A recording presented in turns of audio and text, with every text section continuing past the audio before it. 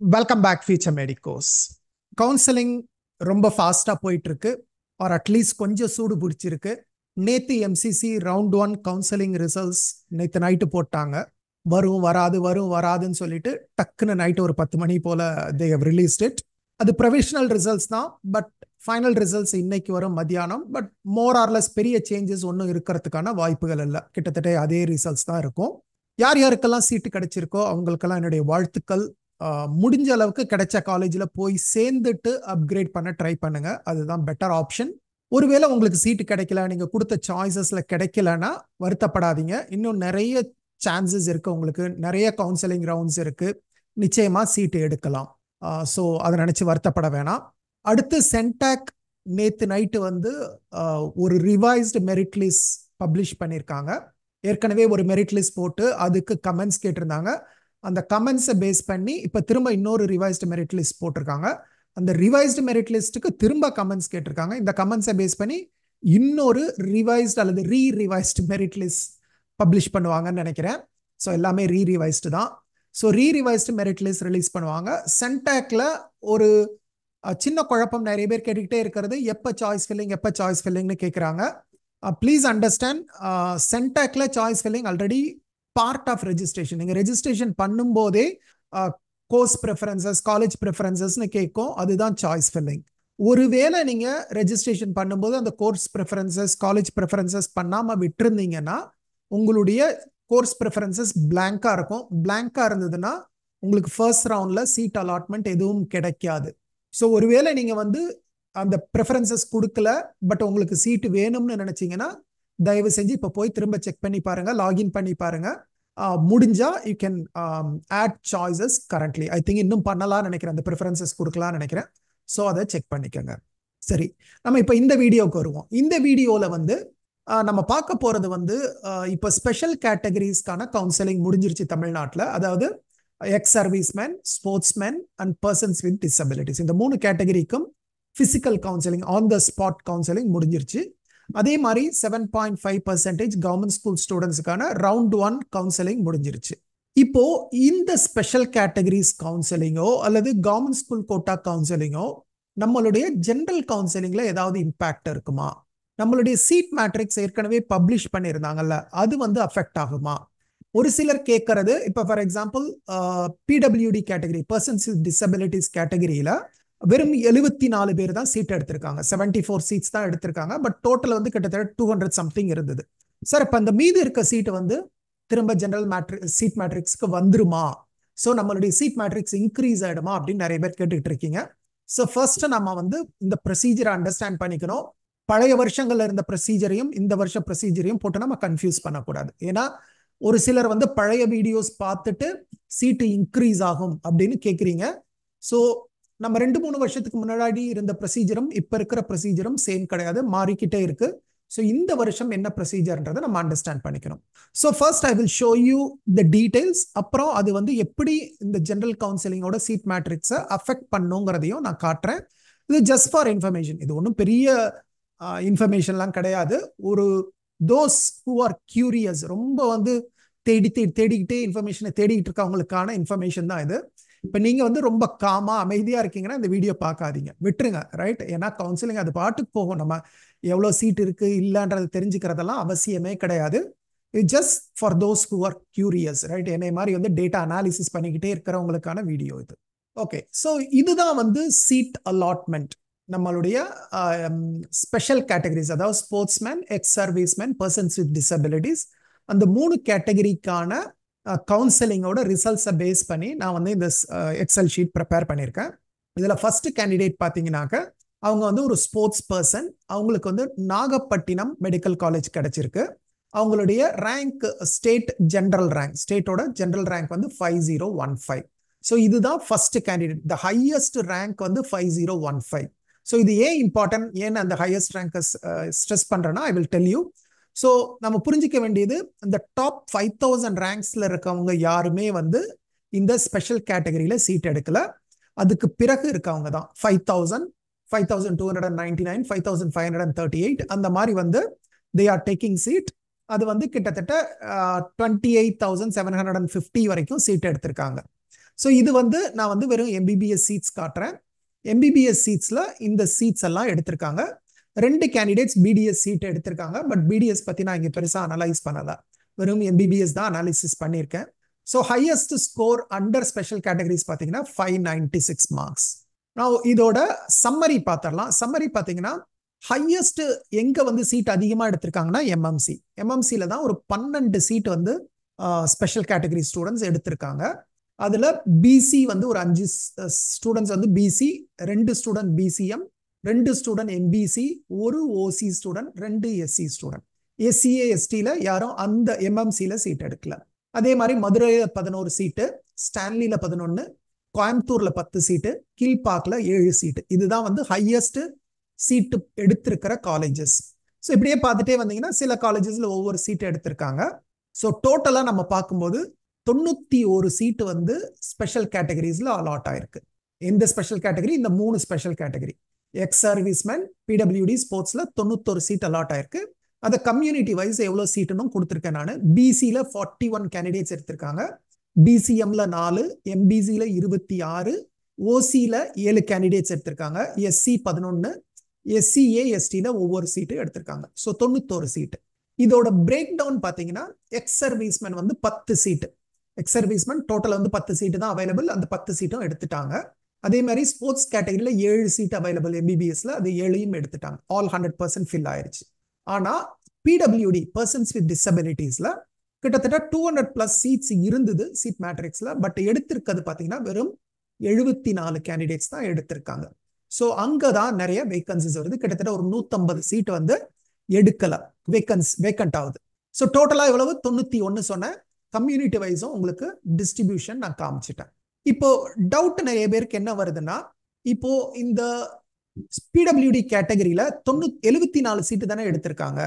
இந்த மீதி இருக்க நூத்தம்பது சீட் வந்து நமக்கு ஆட் ஆகி ஏற்கனவே இருக்க three thousand nine hundred and sixty டூல பிளஸ் ஒன் ஃபிஃப்டி வந்து கிட்டத்தட்ட நாலாயிரத்தி நூறு சீட் ஆயிடுமான்னு கேட்குறாங்க ஆக்சுவலாக நீங்கள் அண்டர்ஸ்டாண்ட் பண்ணிக்க வேண்டியது நமக்கு கொடுத்திருந்த ஜென்ரல் சீட் மேட்ரிக்ஸ் வந்து it includes all the seats ஒரு ரெண்டு மூணு வருஷத்துக்கு முன்னாடி என்ன பண்ணுவாங்கன்னா இந்த பிடபிள்யூடி சீட் மேட்ரிக்ஸை தனியாக எடுத்துட்டு அது இல்லாமல் இருக்கிற சீட்ஸை மட்டும்தான் ஜென்ரல் மேட்ரிக்ஸில் காட்டுவாங்க. ஸோ அப்படி காட்டும்போது இங்கே வந்து வேகன்சிஸ் வருதுன்னா அதை திரும்ப இங்கே வந்து ஆட் பண்ணுவாங்க. இப்போ லாஸ்ட் டூ இயர்ஸாக என்ன பண்ணுறாங்கன்னா அவங்க வந்து வெறும் all India quota seats seven point five percentage government school seats அந்த ரெண்டுத்தை மட்டும் எடுத்துட்டு மீதியை தான் நைன்டி டூ பாயிண்ட் ஃபைவ் பர்சன்டேஜ்னு போடுறாங்க. ஸோ இப்போ இந்த ஸ்பெஷல் கேட்டகரிக்கு சீட்டு எங்கேருந்து போகும்? அந்த ninety two point five percentage seat மேட்ரிக்ஸ்லேருந்து தான் போகும். அதாவது அந்த three thousand nine hundred and sixty two சீட்ஸுக்குள்ள இருந்து தான் இந்த தொண்ணூற்றி ஒரு சீட்டை எடுக்க முடியும். ஸோ சீட்டு இன்க்ரீஸ் ஆகாது. சீட்டு முதல்ல நீங்கள் பார்த்த சீட் மேட்ரிக்ஸை விட கொஞ்சம் கம்மியாகும். சரி அது எங்கே சார் கம்மியாகும்? இப்போ இது எல்லாருமே ஓசியில் போயிடுவாங்களா? ரைட் இது எல்லாருமே ஓசியில் போயிடுவாங்களா? இல்லை அந்தந்த ரிசர்வேஷன் கேட்டகரியில் போவாங்களா? இது எப்படி அலாட் பண்ணுவாங்க? ஏன்னா இதுல எனக்கே கொஞ்சம் கன்ஃபியூஷன் இருந்தது. இது இதுவே ஐ தாட் இந்த செவன்டி ஃபோருங்கிறப்ப நான் I thought most of them will going to open கேட்டகரின்னு நினைச்சேன். பட் என்னுடைய கால்குலேஷன் கொஞ்சம் தப்பு. Then I check last year seat matrix எல்லாம் கொஞ்சம் அனலைஸ் பார்த்துட்டு தான் ஐம் டூயிங் திஸ் வீடியோ சரி இப்போ எங்க இந்த சீட் குறையும்? ஸோ அதுக்காக தான் நான் காமிச்சது வந்து இந்த ரேங்க் காமிச்சேன் இல்லையா? ஃபைவ் தௌசண்ட் ஃபிஃப்டீன் ஏன் காமிச்சேன்னா நம்ம நார்மலா இந்த ஓப்பன் கேட்டகரி சீட் வந்து தௌசண்ட் ஃபைவ் ஹண்ட்ரட் இந்த டாப் தௌசண்ட் ஃபைவ் ஹண்ட்ரட் ரேங்க்ஸில் இருக்கிறவங்க தான் ஓப்பன் கேட்டகரி சீட் போவாங்க. ஏன்னா ஸோ அந்த டாப் எவ்வளோ சீட் இருக்குது தௌசண்ட் டூ ஹண்ட்ரட் சீட்ஸ் இருக்குன்னா அந்த யாரெல்லாம் இந்த top thousand two hundred seats எடுக்கிறாங்களோ அவங்கள மட்டும்தான் நான் ஓப்பன் கேட்டகரியில் நம்ம அலாட் பண்ணுவோம். ஸோ அது ரஃப்லி வந்து ஜென்ரல் ரேங்க் ஒரு தௌசண்ட் ஃபைவ் ஹண்ட்ரட் கிட்ட வரும். ஸோ இந்த கேண்டிடேட் ஃபைவ் தௌசண்டில் இருக்கிறதுனால அவங்க வந்து அந்த ஓப்பன் கேட்டகரியில் வரமாட்டாங்க. ரைட் த ஹையஸ்ட் ரேங்க் கேண்டிடேட்டே நிச்சயமா ஓப்பன் கேட்டகரியில வரமாட்டாங்க. ஸோ கீழே இருக்கவங்க யாருமே ஓப்பன் கேட்டகரியில வரமாட்டாங்க.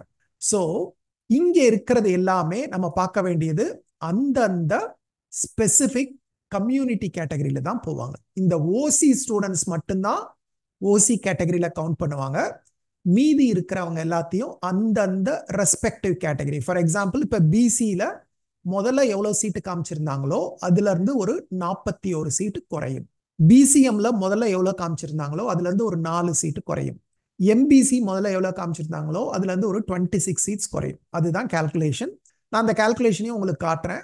ஸோ இதுதான் original seat matrix for example Chengalpattu medical காலேஜில் ஒரிஜினலாக செவன்டி நைன் சீட்ஸ் இருந்தது. செவன்டி நைன் இருந்தது. இப்போ ஸ்பெஷல் கேட்டகரி அலாட் பண்ண பிறகு என்னாகும்? செங்கல்பட்டு வந்து வில் பிகம் செவன்டி செவன் ஆயிரும். ரெண்டு சீட்டு குறைஞ்சிரும். எங்க ரெண்டு சீட் குறையுது? ஓசியில் ஒரு சீட் குறைஞ்சிரும். எம்பிசியில் ஒரு சீட்டு குறைஞ்சிரும்.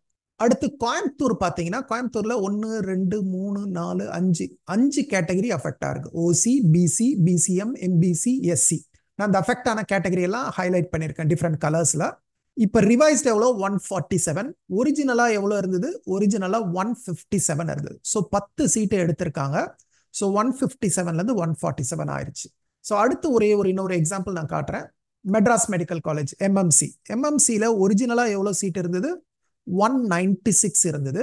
இப்போ ஆஃப்டர் இந்த ஸ்பெஷல் கேட்டகரி கொடுத்த பிறகு இப்போ எம்எம்சியில் எவ்வளோ சீட் இருக்குன்னு பார்த்தீங்கன்னா ஒன் எயிட்டி ஃபோர் தான் இருக்குது அதாவது பன்னெண்டு சீட்டு வந்து எம்எம்சியில் குறைஞ்சிருச்சு. ஸோ அது எந்தெந்த கேட்டகரி அஃபெக்ட் ஆயிருக்கு? திரும்ப பார்த்தீங்கன்னா OC BC BCM MBC SC இந்த அஞ்சு கேட்டகரியிலையும் சீட்ஸ் குறைஞ்சிருக்கு. ஏன்னா அந்தந்த ரிசர்வேஷன் கேண்டிடேட் சீட் எடுத்திருக்காங்க.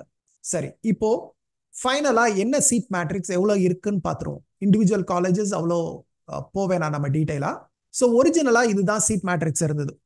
ஓசிக்கு ஒன் டூ ஒன் நைன் இருந்தது. பிசிக்கு தௌசண்ட் ஃபார்ட்டி டூ இருந்தது. பிசிஎம்க்கு ஒன் தேர்ட்டி எயிட் இருந்தது. அதெல்லாம் I have shown you so இப்போ எவ்வளோ சீட் ரிமைனிங் ஓசியில் one two one nine minus seven seven seat special categories போக ஆயிரத்தி இரநூத்தி பன்னெண்டு சீட் வந்து இப்போ வந்து ஓசியில் அவைலபிளாக இருக்கும். ஓப்பன் கேட்டகரி சீட்ஸ் வந்து thousand two hundred and twelve seats so first thousand two hundred and twelve allotments எல்லாமே வந்து ஓப்பன் கேட்டகரிக்கு தான் போகும். அடுத்து பிசியில் பார்த்தீங்கன்னா நாற்பத்தி ஒரு சீட்டு கழிச்சிட்டாங்க. ஸோ இப்போ ஆயிரத்தி ஒரு சீட்டு தான் இருக்கும்.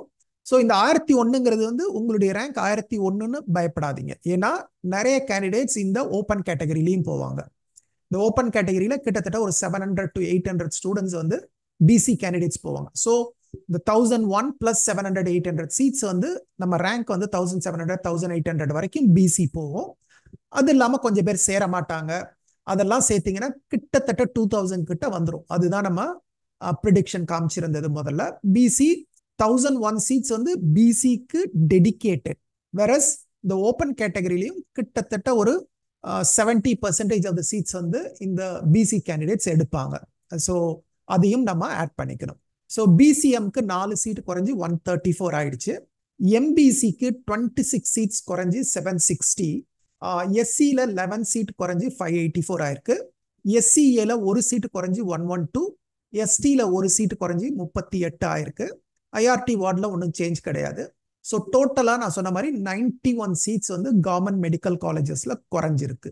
அதாவது நம்ம முதல்ல பார்த்த seat matrix three nine sixty டூலேருந்து இப்போது தொண்ணூற்றி ஒரு சீட்டு குறைஞ்சி இப்போ கரண்ட்லி நம்ம கவுன்சிலிங்க்கு எவ்வளோ இருக்குது த்ரீ எயிட் செவன் ஒன் மூவாயிரத்தி எட்நூத்தி எழுவத்தி ஒரு சீட்டு தான் இருக்கு.